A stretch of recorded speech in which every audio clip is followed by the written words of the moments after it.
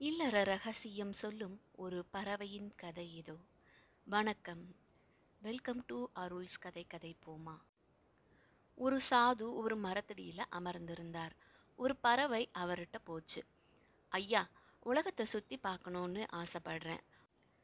முதல்ல ஆயிரம் கதா தூரம் கடல்ல பறந்து அழகான ஒரு தீவை பார்க்கணும்னு விரும்புகிறேன்னு சொல்லுச்சு.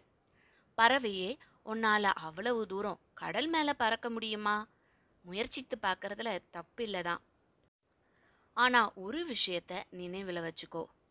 பிரயாணத்தில் முதல் முறை உனக்கு சோர்வு ஏற்படும் பொழுது உடனடியாக புறப்பட்ட இடத்துக்கே நீ திரும்பி வந்துரு அப்படின்னாரு சாது. தலையை அசைச்சிட்டு பறந்தது பறவை. பக்கத்தில் இருந்த சீடன்ட்ட பேசினார் சாது. சீடனே முதல் முறையாக சோர்வு அடையும் பொழுது பாதி பலத்தை நாம் இழந்துட்டோங்கிறத நாம் புரிஞ்சுக்கணும்.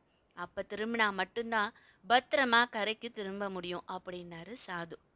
ஒரு வாரத்துக்கு பிறகு அந்த பறவை திரும்பி வந்தது. ஐயா கடல்ல இரநூறு காதம் தூரம் அடைஞ்சதுமே நான் சோர்வடைஞ்சிட்டேன். நீங்க சொன்னபடி நான் உடனே திரும்பி வராம போயிருந்தா கடல்ல விழுந்து செத்துருப்பேன். இருந்தாலும் சில நாட்கள் கழிச்சு இந்த முயற்சியை நான் தொடரணும்னு விரும்புறேன். அதுக்கான வழியை சொல்லுங்க அப்படின்னு கேட்டுச்சு பறவை. அப்படியா? அப்போ இந்த முறை உன்னுடைய துணையையும் உன் கூட அழைச்சிக்கிட்டு போ. ஆனால் ரெண்டாவது முறை சோர்வு அடையும் பொழுது திரும்பி வந்துடு அப்படின்னு சாது அறிவுரை சொன்னார். ஐயா எங்களால் கடலில் நானூறு காத தூரம் தான் பறக்க முடிஞ்சது. நீங்கள் சொன்னபடி ரெண்டாவது முறை சோர்வு அடைஞ்சதும் திரும்பி வந்துட்டோம். தொடர்ந்து பறந்திருந்தா கடல்ல விழுந்து இறந்திருப்போமோ என்னவோ. ஆனாலும் எங்களுடைய இந்த முயற்சியை நாங்கள் தொடர விரும்புகிறோம் உங்களுடைய உதவி எங்களுக்கு வேணும் அப்படின்னுச்சு இந்த பறவை சாது யோசிச்சாரு. கீழே கிடந்த ஒரு குச்சியை எடுத்து பறவையிடம் கொடுத்தார். பறவையே பயணத்தின் போது இந்த குச்சியையும் உங்களோட எடுத்துட்டு போங்க. சோர்வு ஏற்படும் பொழுது இந்த குச்சியை கடல் தண்ணியில போடுங்க. அது மிதக்கும். அந்த குச்சி மேல அமர்ந்து நீங்க ஓய்வெடுத்துக்கலாம். களைப்பு தீர்ந்ததும் குச்சியோட பறந்து போங்க அப்படின்னு சொன்னார் சாது. பறவைகளும் நன்றி சொல்லிட்டு பறந்தன. இரண்டு மாதங்களுக்கு பிறகு சாது கிட்ட வந்தது அந்த பறவைகள். ஐயா உங்களோட ஆசியால ஆயிரம் கத தூரம் அப்பால இருக்கிற அந்த தீவை நாங்கள் சுற்றி பார்த்துட்டு வந்துட்டோம்.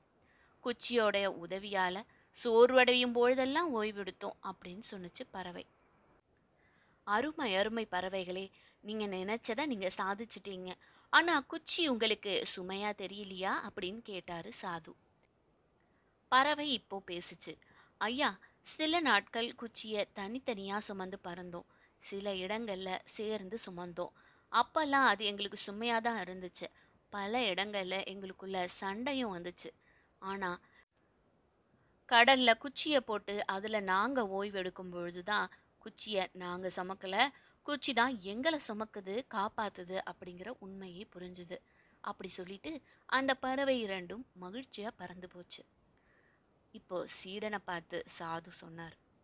சீடனே பறவை முதல்ல தனியா பறந்த பொழுது எளிதா அது சோர்வடைஞ்சது. துணையோட பறந்த பொழுது அதிக தூரம் பறந்துச்சு. ஆனா இலக்க அடைய முடியல. அதுக்கு ஒரு கருவி ஒரு குச்சி தேவைப்பட்டுச்சு. அந்த கருவி ஓய்வை கொடுத்தது. சண்டையை கொடுத்தது. பல நேரங்களில் சுமையா தெரிஞ்சுது. ஆனா அந்த கருவியோட உதவியால மட்டும்தான் இலக்கையும் அடைய முடிஞ்சுது. பறவைகளுக்கு குச்சிய போல மனிதருக்கு இல்லற கருவி. வாழ்க்கைங்கிற கடலை நாம கடக்கிறதுக்கு அதில் குதிச்சு நீந்த வேண்டியதில்லை.